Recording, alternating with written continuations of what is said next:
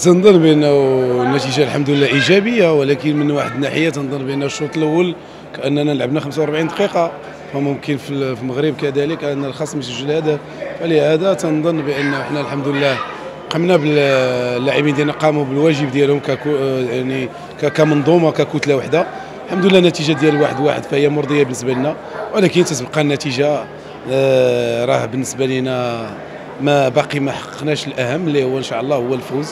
باش يمكن لنا نفوزوا بهذه البطولة الغالية على قلوب آه، الأمة الودادية وكذلك الجماهير المغربية. لأن غابت عندنا مدة. أه تنظن مباراة في العودة غتكون هي المباراة الفاصلة. اللاعبين قدموا مباراة كبيرة اليوم كما شتي قتالية رجولة في الملعب. الحمد لله بأننا إحنا راضيين على المردود ولا المنتوج ديال اللاعبين ديالنا. تتبقى مباراة العودة.